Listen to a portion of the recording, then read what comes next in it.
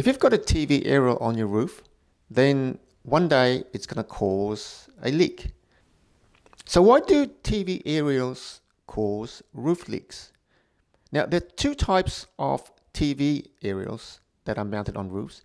One where the base plate is resting on the ridge and the pole doesn't actually go through the roof, which kind of makes sense.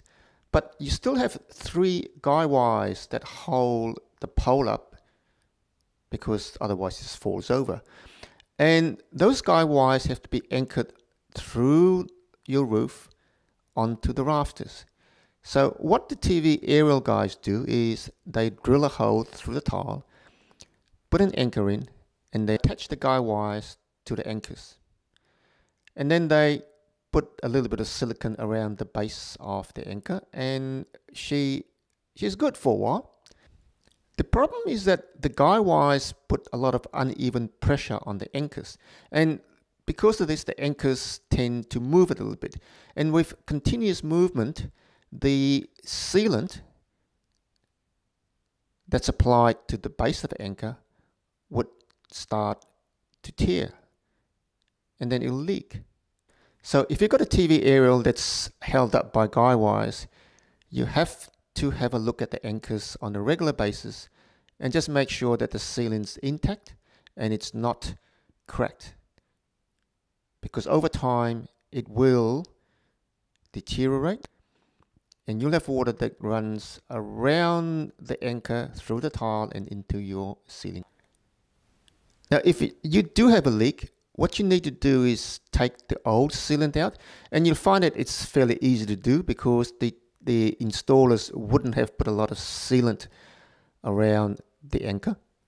You've got to take all the sealant out and apply fresh sealant. But the important thing is you've got to push the sealant through the gap around the anchor as far as possible so that the hole has got silicon all the way around, which means that even with the movement of the anchor, you got a lot more silicon that will help seal the anchor through the tile.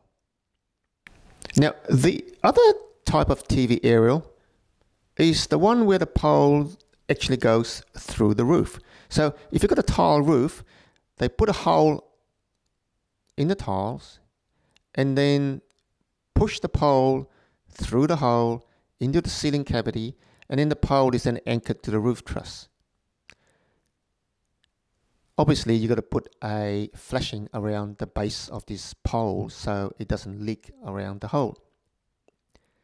I guess the advantage on this is that you've got no guy wires and you haven't got the potential maintenance problem of making sure that the anchors at the, the guy wires aren't leaking. If the flashing around the base of this type of TV aerial is done correctly, then chances are you will have a maintenance free TV aerial. But things can always go wrong. Even with this style of TV aerial, there is one weak point that we've missed on many occasions. And it's because the pole goes through the roof so if you look at the top of the pole, it's just a pipe and it's got a, an open end that's blanked by a plastic cap. And when the plastic cap starts to deteriorate and cracks, water goes in through the cracks, dribbles through the middle of the pipe, and then goes into your ceiling cavity.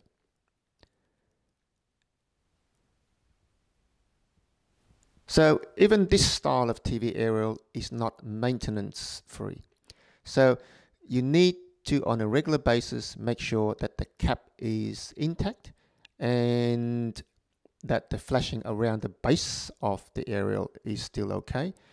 And uh, then you don't have any leaks with this style of TV aerial. So which TV aerial is better? It doesn't really matter. They both have their pros and cons. And the main thing is you need to be aware of where the water can come in and have a regular maintenance schedule where you get someone to go up, check the seals, check the cap, and then make sure that everything's okay. Otherwise, you will get a leak through your TV aerial.